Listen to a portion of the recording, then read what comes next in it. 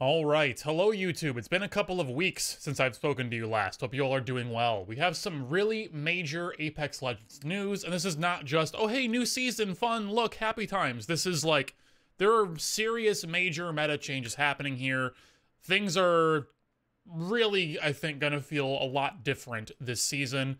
Um, so there's a lot to talk about, and let's just go right into it. Now, of course, we have the new legend Rampart.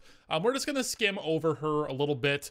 Um, I'll talk about her more in depth in a sponsored video for EA uh, in the coming weeks once I get some time to actually play with her and get some footage with her and yada yada yada. So we're just going to skim over her abilities and get onto the actual uh, meat and potatoes here. So. Uh, her passive ability is the modded loader, and it has increased magazine capacity and faster reloads when using LMGs and her ultimate minigun, Sheila. Uh, modded loader also increases the amount of shots before overheating occurs and improves the cooling with the L-Star, so that way you actually still get some kind of benefit with the L-Star.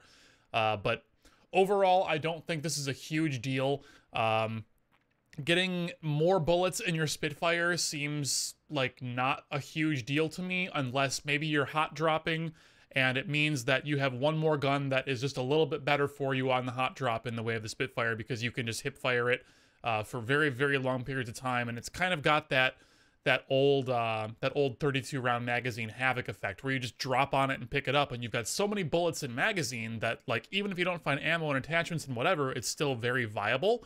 So this passive will i think kind of turn the spitfire a little bit better into that role it will turn the L-Star a little bit better into that role, and now that the Devotion is going to be coming back as a light machine gun into the regular loot pools, it's no longer a care package weapon. I mean, this seems like a really okay passive. I don't think this is something that you're going to care about in the mid and late game, but I think in really aggressive hot drop situations, modded loader is going to be really great at improving your consistency in the first 30 seconds to 2 minutes of a game. Uh, next up, we have your tactical amped cover. So this is going to make every Titanfall player in history enraged, um, but I promise that it's not as bad as it sounds. So, you build a wall on the ground. You don't build it very tall, it's quite short. Um, it's about, you know, waist high or so. And then these little pylons will rise up from the sides and they'll create an A wall, which is this orange uh, transparent wall that you can shoot through and it will amp your bullets as you shoot through them. So only your bullets will get amped. Your enemies will not when they're shooting back at you unless they, you know, flip sides, flip spaces with you and, you know, they shoot through it. It's like a one-way uh, bullet amping, basically. So your bullets will do extra damage. The exact amount uh, of extra damage your bullets are going to get is not currently known. Uh, so we'll just have to wait and see what damage values end up being with the amped cover.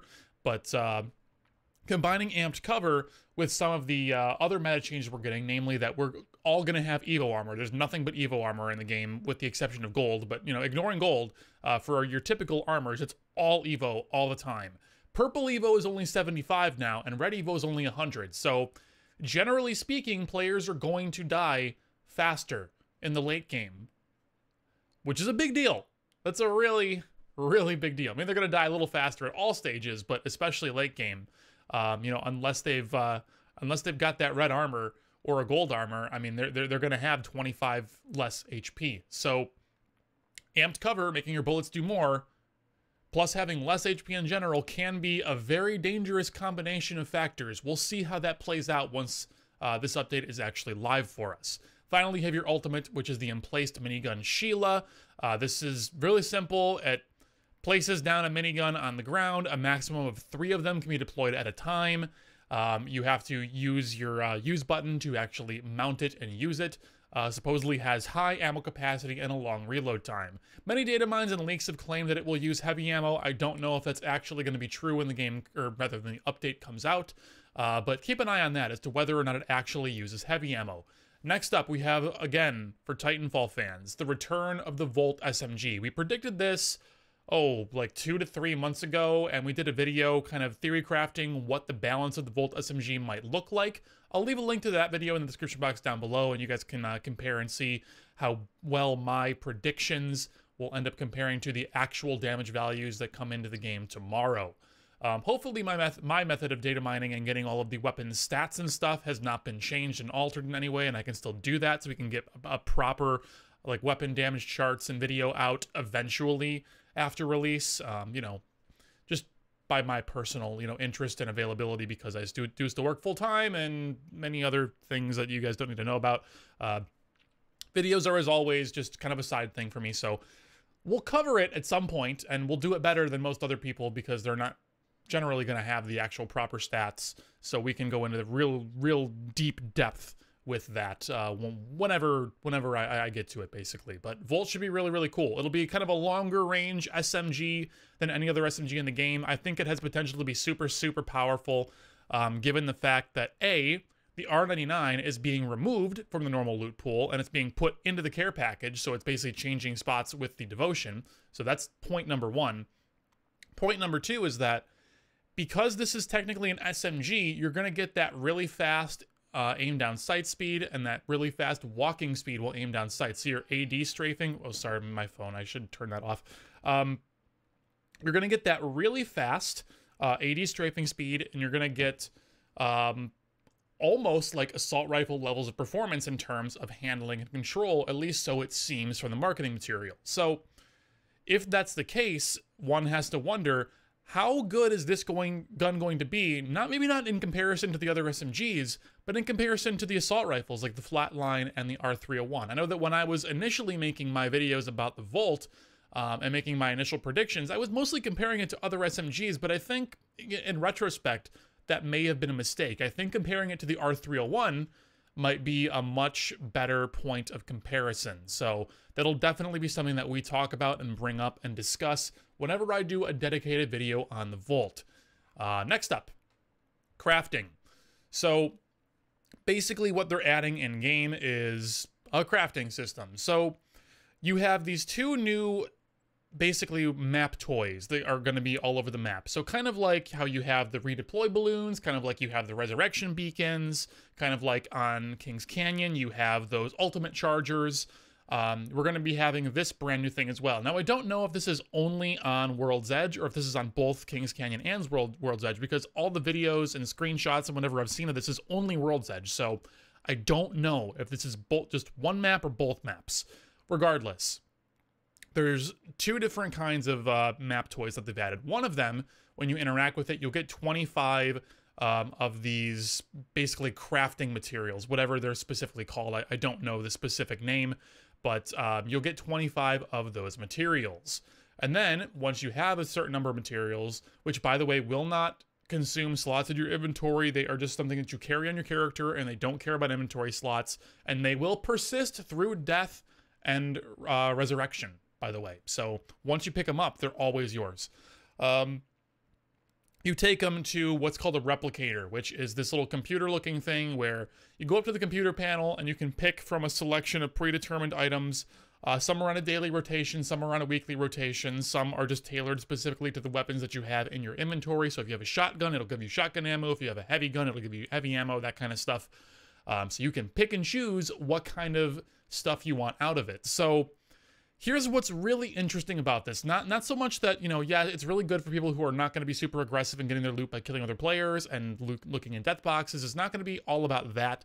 I mean, that's interesting, but the thing that's really interesting to me, and this was a note that they made in the dev stream, is that because they're adding the Volt to the game, there was a concern that, you know, they're getting to the limits of how much stuff you can put in the loot pool without it starting to really um, just dilute things and make it really hard to find the guns you want, and it's gonna make it more likely that you find bricks. You know, meaning in like the figurative sense that you're just gonna brick on stuff. You're you're, you're not gonna find what you want. You're gonna find crappy stuff sometimes, or you're gonna find good stuff, but nothing good for your good stuff. And you know, we've talked about this in stream a lot where I've always said that like I, I, didn't blame them for not adding a weapon in season five because they have to find a solution for making the loot pool not too diluted with stuff. And I always thought that maybe if they take certain weapons and they make it so okay, the R99 the R99 is always going to be really powerful.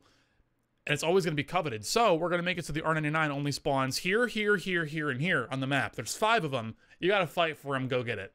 You know, like I've always thought unless they did something like that, or maybe maybe a little bit more simple where they take a certain gun and they put it in the vaults on World's Edge and the vaults on Kings Canyon say, if you want X gun, you must go to the vaults to get it. It only spawns there.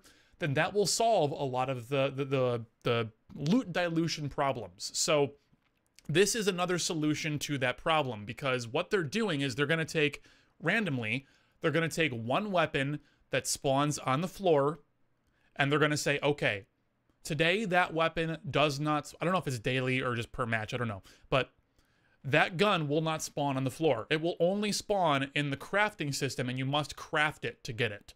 So that's a really interesting way of solving that problem that we identified a couple of seasons ago. So that I think is really cool, and we'll see how this ends up playing out. We don't know how common the crafting materials are going to be. We don't know how common the replicators are going to be. Um, it's a lot of unknowns, but we'll know less than 24 hours from now. So be on the lookout for these and make sure you're interacting with this new system because it's going to be really, really neat. Even if you don't have the, uh, the, the the crafting materials, to at least just check the replicator and see, oh, okay, well the devotion is out of the loot pool this game. We don't got to worry about devotions, or oh, the volt is out of the loot pool. We're not worried about a volt, or whatever gun it might be. And you know that you that's just something that you don't have to play around. You don't have to try to focus on and work towards.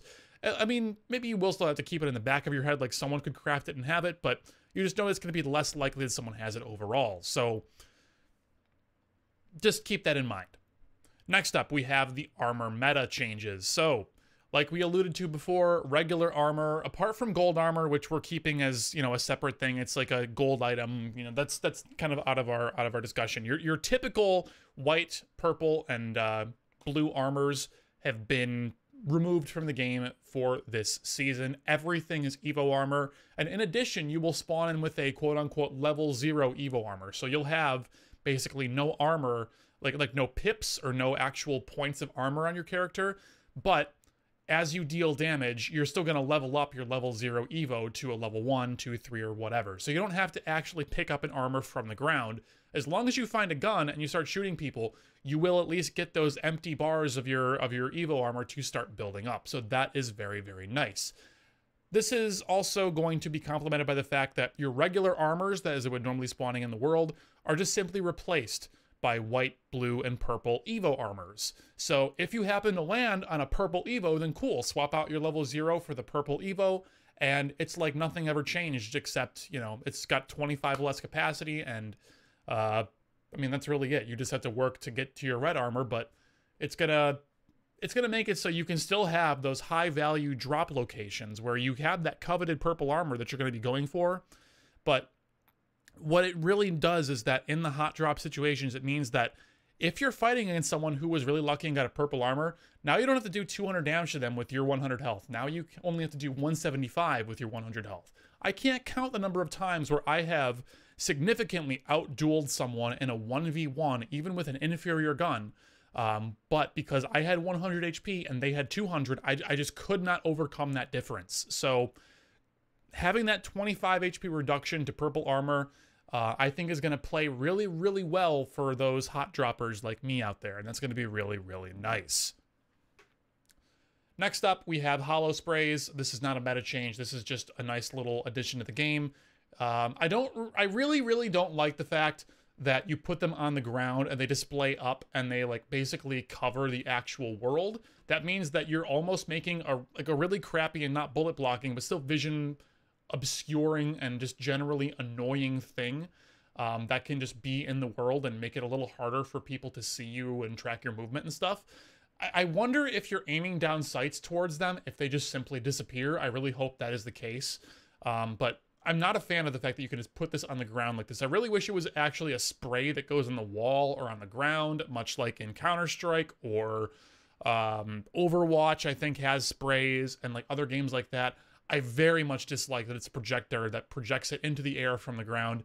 I, I, really hope that there is some kind of system where if you aim down sights at these things, they completely disappear and it's like they're not there, or you can shoot them and make them go away if nothing else, because it's it's just gonna be one of those things where like you know that it's never going to really happen except just in that one game you're going to have that one super sweaty stinky 14 year old gamer who's got his two other buddies on voice comms that are going to find the one perfect rat spot and cover it up with these stupid things and you can't see them, you don't know they're back there and like it's just going to be really yucky, right? So I just hope there's some kind of system where if you aim down sights at them or something, they disappear. And then I'm cool with it. Otherwise, it's a really like interesting looking system, great way for you to express yourself, yada yada yada. Seems neat. I, I just really hope that they they don't actually impact gameplay some way, even if it's a super minor thing that I'm just being an old boomer about. Um, next up, there's going to be another quest with this new season. Um, instead of it being actual gameplay stuff and just being text that you read, they're kind of finding a middle ground. So it's going to be comic panels. So it's basically just going to be like you're an actual like a comic book almost um, and you're going to unlock. I don't know if it's just like a like a single page or multiple pages, like a you know what however long like the mini comics uh, will be each week. Um, that's what you're going to end up working through. So that seems really really cool. I'm a huge huge fan uh, of that change. So hopefully that's really nice for everyone else as well. Um, next up, let's get into some more meta changes here that we have not spoken about yet. We have some updates to recon classes. So before we go into this, let's kind of back up a little bit. So we have um, we have the heavy legends, right? So we have Gibraltar and Caustic, who have the fortified perk, and they are kind of considered to be like defensive legends or uh, or heavies or whatever. And this is just kind of like a an overall category that they fit into. And because they are in that category, they get a passive just for being in that category that is otherwise um, not related to their their individual character kits. So Pathfinder, Bloodhound, and Crypto are now all being classified as recon legends. So there, this is a new bucket that has been made.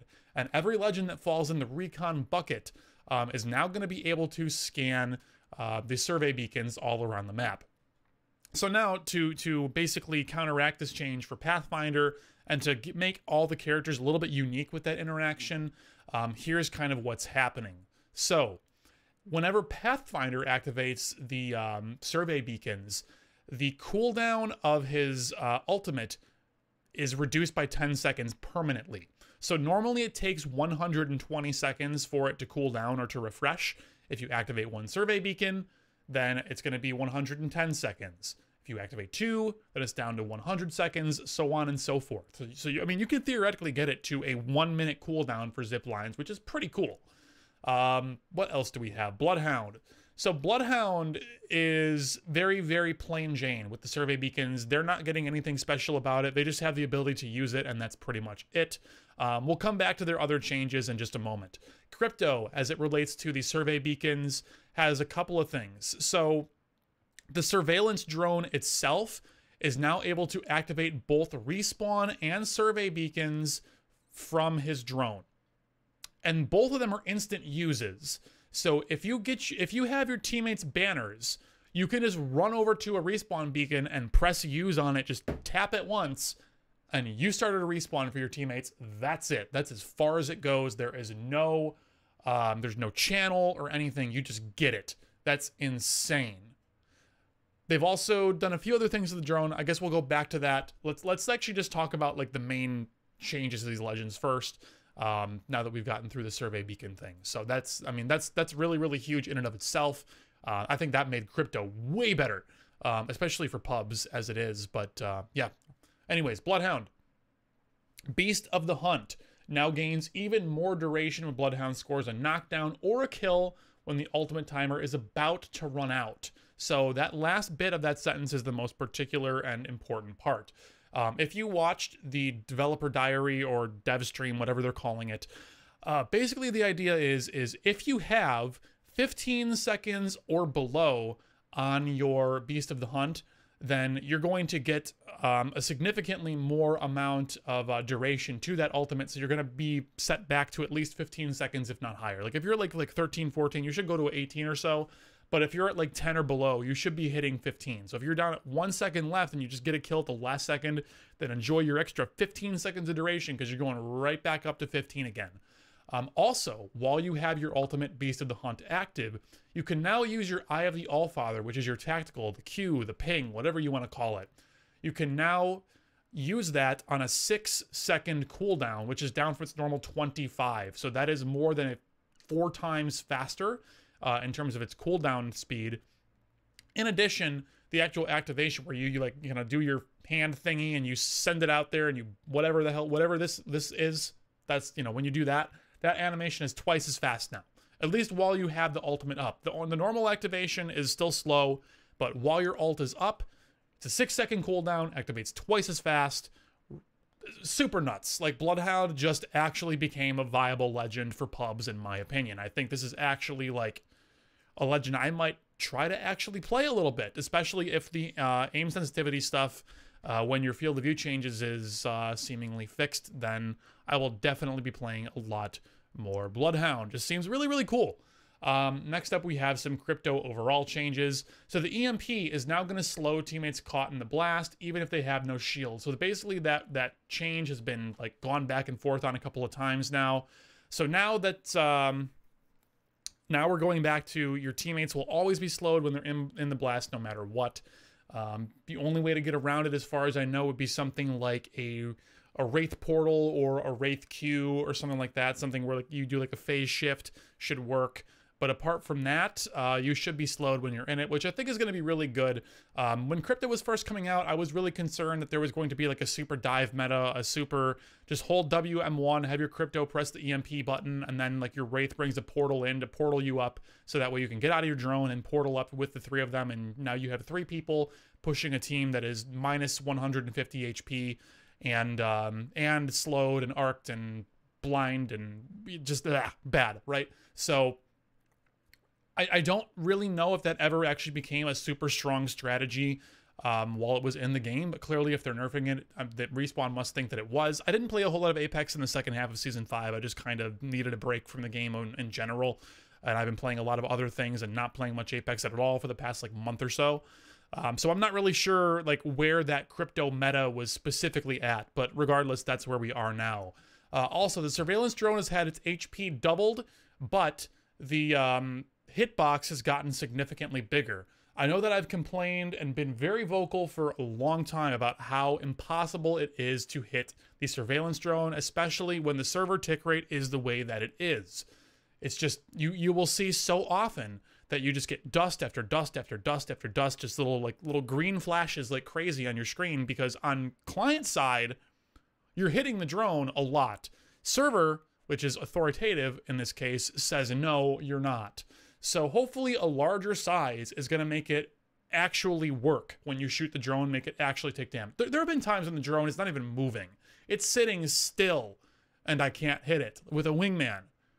Like just just it's it's absurd to me how often the drone hit registration seems to not work. So I really hope that with this hitbox size increase, I can actually for once in my life hit a drone. That would be fantastic. Please and thank you, Respawn.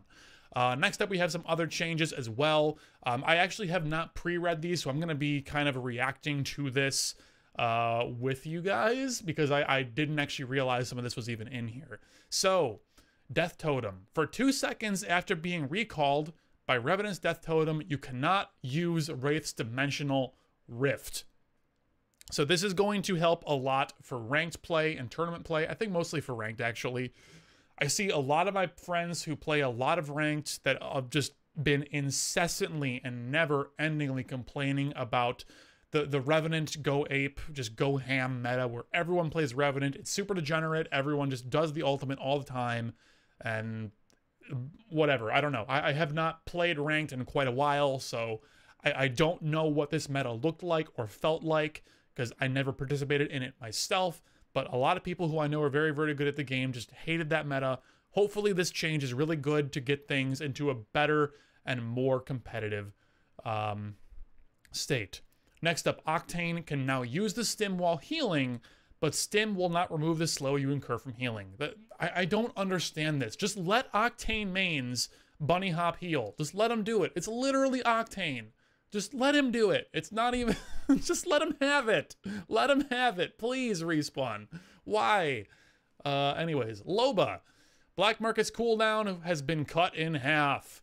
That seems really strong. I'm surprised Loba doesn't get played more than uh, than she currently does, but 90 second cooldown in Black Market seems pretty good, especially in late game situations where you could just pull six grenades to your team, drop another Black Market, pull six grenades to your team, drop a Black Market, pull six grenades to your team, like or heals or whatever. But you know, getting a butt ton of grenades in your team to just zone the heck out of some other team that is just waiting for the next circle to close because you're in a ranked endgame situation, that seems really strong to me. I guess maybe it's not something that you want to actually pick Loba for, um, but you know, if you find yourself in that situation with a Loba, it can be really, really good. So uh, I don't know. Any any buff for Loba, I think, is good. She definitely needed a little bit of something, and uh, this is definitely that. Next up, Gibraltar's cooldown for his ultimate has been increased by one and a half minutes. It's now instead of three minutes per bombardment, it is 4.5 minutes per bombardment. That is nuts. Um, Gibraltar players, how are you feeling about this? Again, like I said, I've been out of the meta for a little while now, so I don't have a great tap on where this puts Gibraltar. Um, seems a lot. I don't know if that needed to happen, but I'm okay with it because I'm never really using the bombardment on cooldown anyways, so that's probably fine. Bangalore's Rolling Thunder, her ultimate, just swap places with Gibraltar's. So now instead of it being a 4.5 minute cooldown, it's a 3 minute cooldown. I'm totally fine with that. Bangalore is generally one of the weakest legends in the game, I feel. Like she I mean, I mean let me rephrase. Bangalore in and of herself is a good legend. But because of how strong many of the other legends are, there is just no reason to bring Bangalore, in my opinion, for the vast majority of players. Like, you just, you could do better. But that doesn't mean that Bangalore is bad. I think Bangalore's power level is quite good as it is. But it's just every, many other legends are just so ridiculous that you, you can't justify her a lot of the time if you're a sweaty tryhard. So, will this change make her good enough? to uh, to make that better. I apologize. I'm trying to fix my hair. I was not expecting to record today, and my hair is a mess. I'm sorry. I'm ugly. Don't look at me. Um, anyways, yeah, Rolling Thunder. Sure, I'll take the buff. Why not? I, I don't think this is gonna make me, make me ever click Bangalore in the character select screen, but sure, why not? Uh, finally, Wattson's interception pylon. The trophy will now shoot down caustic barrels. That's amazing. Oh man, I always used to have so much fun as caustic throwing barrels into enemies' trophy systems. That's hilarious that they get shot down now.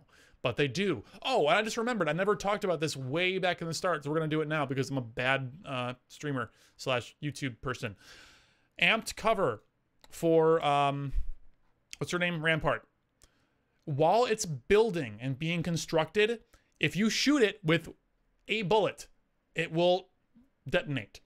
So you cannot throw down an amped wall mid combat and have it actually work. Like don't don't think of the Titanfall A wall. It doesn't just you don't just press the button and have it go down and have it block buttons nearly in, block buttons block bullets nearly instantly. Um, with her amped wall that she drops, it has to completely construct. And if you shoot it before it completely destru- constructs, then you will destroy it. So just keep that in mind. Like, that is a major counterplay to Rampart. Rampart can't just drop down cover in the middle of a firefight and expect it to work, much like Caustic can't be aggressive and just throw caustic traps at you from really far away and then try to get them to detonate on you and use them as pseudo grenades. As as fun as that was, um, yeah, you, you can just shoot them anywhere now while they're while they are building, and they will just be destroyed. And I assume like one bullet, if not just two or three. Next up, energy mags are now back in the game because we have four energy weapons. We have the Havoc, the Volt, the Devotion coming back from the care package, uh, as well as, what am I forgetting? I'm forgetting something. And there's one more I don't remember. I know there's four. I'm just dumb and can't think of it. Havoc, Devotion, Volt, L-Star. L-Star. That's the other one. Okay. Uh, Turbocharger also back in because there's two weapons that can actually use it now, so they're going to put that back in the game. By that same token, it's only taken them like an entire season, but Precision Choke has been removed from the game and is now integrated into the Triple Take and Peacekeeper by default, and it can be toggled with your Select Fire button. Very, very cool, Respawn. Thank you for this. I've only been asking for a Precision Choke toggle since day one, but late, better late than never. Thank you. I appreciate it. Yeah, thank you. Uh, R99 is going into the care package. This is going to be a major change to the game. Uh, Prowlers are going to be a lot more common. People are going to have to learn to use the Burst Prowler. People are going to be using the full auto Prowler a lot. I very much expect Prowler nerfs to come uh, probably in the middle of Season 6. I think people are going to be crying and whining and complaining about how strong the Prowler is.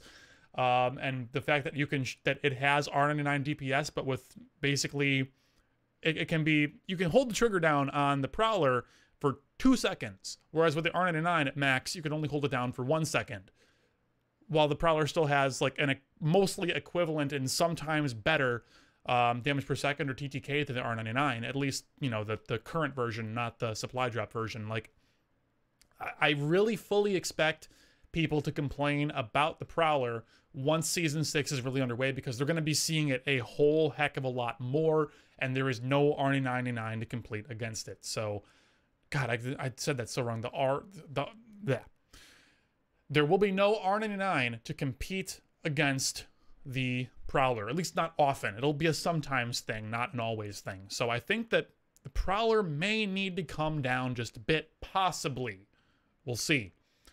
The damage on the R99 is going up by 1 damage per bullet, and the magazine size will be 32 with an ammo reserve of 160 uh, while it is a care package weapon. And then the uh, Devotion, going back to the ground loot, it's going to have its normal clip size values of 36, 40, 44, and 48. Fully kitted weapon swaps. So I suppose that what they mean by this are the gold rarity weapons that you'll find on the map sometimes. So you can find a Devotion with everything. That's insane. I can't believe they're actually doing that. Uh, you can find Mastiff with all the attachments, Triple Take with all the attachments. What? Why? a flatline with all the attachments, and a Volt with all the attachments, which I, I understand. I, I am I am a fan of flatline and Volt being gold weapons.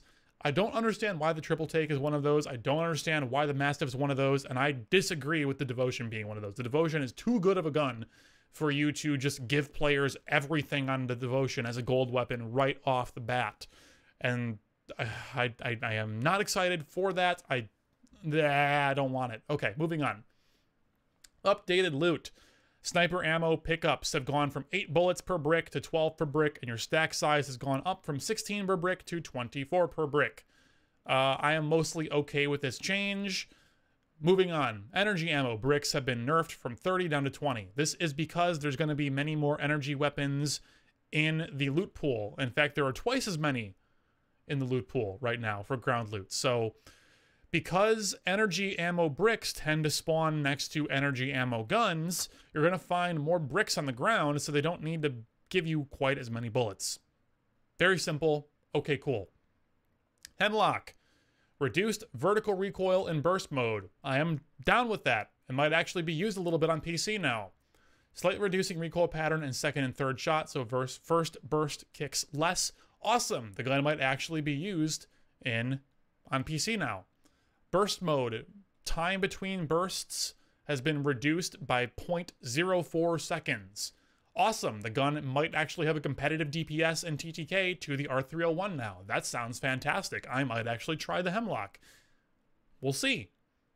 Charge rifle uses two ammo per shot, and the mag size has gone from 4 to 8. So this is just a purely an ammo economy change that is meant to go along with the um, sniper ammo stack sizes on the ground. So fine with that. Very cool.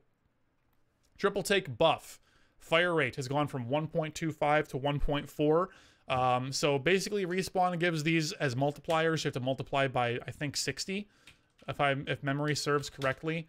So it should be 84 rounds per minute, I think, if I'm doing the math right. Um, I haven't even looked at this in so long, so I might be misremembering. I think you just take that number and multiply by 60 for RPM. Because I think this is in rounds per second, so you need to multiply by 60 for rounds per minute, which is what people normally talk about guns in the format of.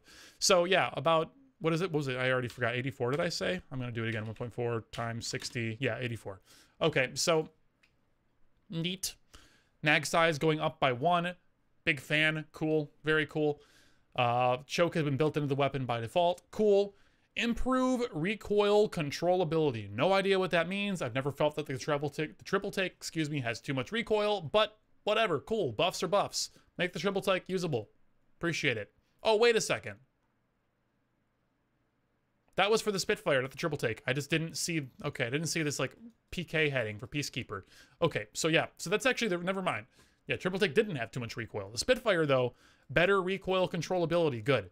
Uh, maybe in season 11 we can have another bullet point right here that says gave it real iron sights that are usable and not like looking through the hole of a brick.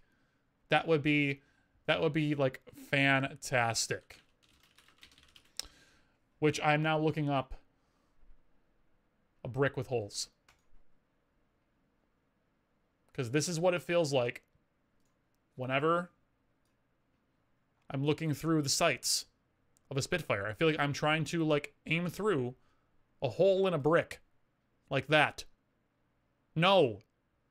Stop it. Not fun. Respawn. You are all about find the fun, yes? That is not the fun. Thank you. Okay. Havoc, another new recoil pattern. Uh, cannot comment. We'll have to go into the firing range and try this out to comment on this. Who knows? No idea. Mozambique clip size 3 to 4. Let's go. That's awesome. P2020 damage increase from 13 to 15. Hammer point multiplier uh, down from 2.7 to 2.35. And the mag size is going up. It only took them a year and a half, but the P2020 and the Mozambique, even if they're still going to be the worst guns, are not going to, hopefully, not going to be completely dumpster garbage without the um, hammer point. So that's really cool. Big fan. I like this. Let's go. Sentinel only requires one shield cell to charge if you have gold armor. Everyone asked for that when they made the gold armor change in Season 5. Uh, and sure, why not? Sentinel's not a super great gun anyways. It's just totally like a for fun thing, not a for competition thing in most situations, unless you are like Hodsick, I guess. So, Hodsick, if you watch this, please let me know because I would appreciate that.